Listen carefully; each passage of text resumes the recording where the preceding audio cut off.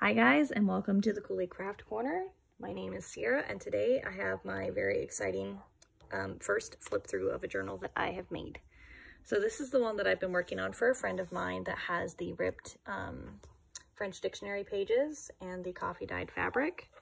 I did three signatures per a lot of people's, well, maybe not a lot of people's suggestion, but there was definitely some suggestions to do three with the number of pages that I did, which was 32. This is a birthday gift for a friend and she turned 32 years old, so we did 32 pages to honor that. Hopefully Jordan's going to cooperate. All right, so the first thing in here, I'm going to include some extra stationery, I think, in the back, but I have these lace pockets.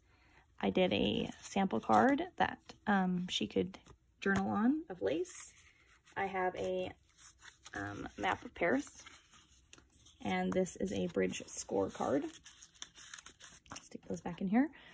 So it starts out with some velvet um, flocked paper. Open it up, little embellishment here. It's got a lot of Victorian theme in it. So we got the textured paper, needlepoint, coffee paper, um, ledger, and then this is a kind of floating interactive belly band here, so she can tuck stationery or whatever um, inside of here. Uh, this is a illustration of a desk from, I believe, the 1700s, which not that that's Victorian, but I just wanted to include that because I thought it was pretty. Music paper, stationery. Here's the hinged pages of the Titanic that I did. Got some little mini graph paper little 3D sticker in the Dollar Tree.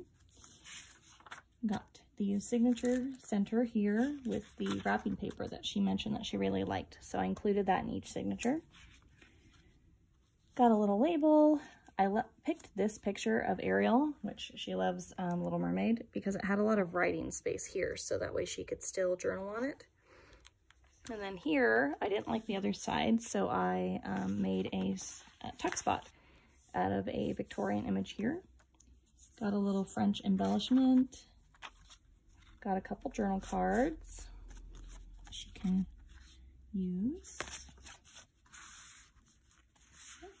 I'm going to tuck that in here. It's the other side of that music sheet. Got a Victorian element here. Ledger, some lace on the coffee dyed paper. I'm just flipping through, got a little stamp. This is a tuck spot with a couple journaling card pieces in here. And that is the end of the first signature. And now for the second signature, it starts out with a belly band and I got some little cards, um, little area she can journal on in the back of the coin, some little faux tickets from Temu.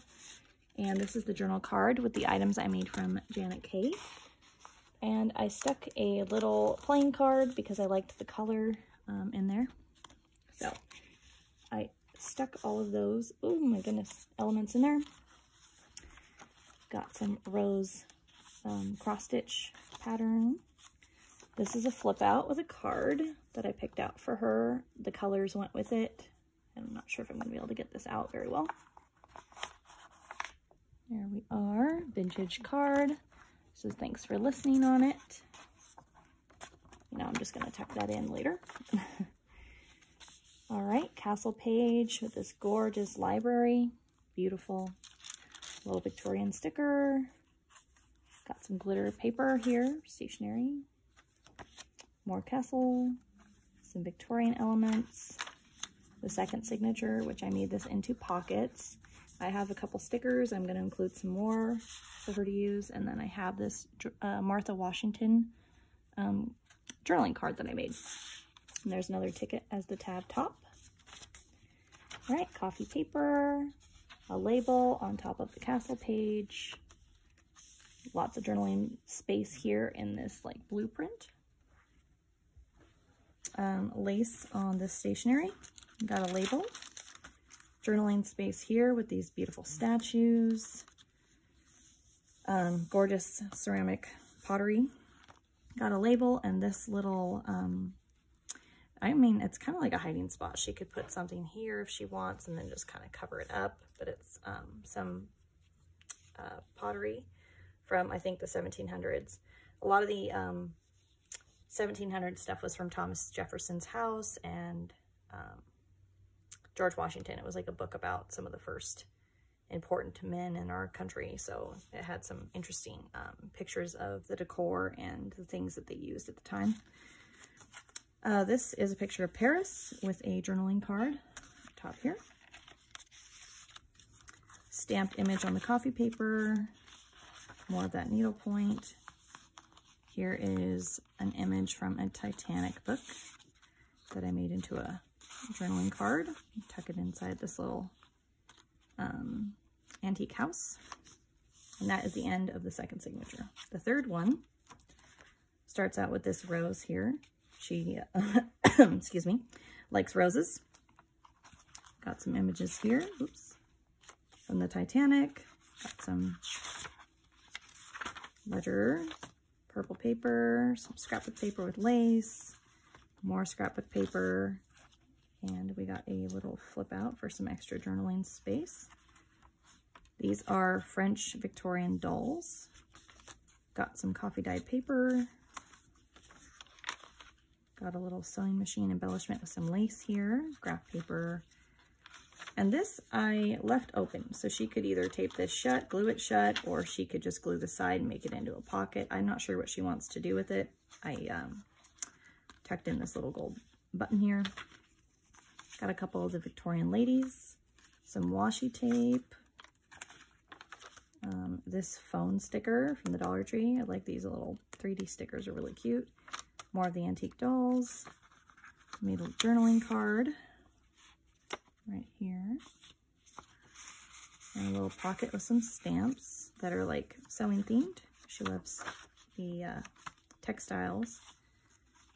This is from a Temu sticker package with some lace. I cut it out and just made an embellishment for the page. And there's one of the little lady stickers. Back of the ledger and the last page of the Titanic um, book that I had hinged. And then the last page has this Victorian-esque um, belly band, and I just made this like simple lace card. She can embellish it however she likes if she wants to add anything to it. Then on the back, I have this cross-stitch bookmark that she can um, decorate and make her own however she wants. I'm going to include a couple other papers, I think in stationery and stick them back here or potentially in the pocket in the center of the book. But yeah, guys, that is the first flip through of the first journal I've ever made. There was some trial and error. You know, I wish these stitches were um, a little tighter.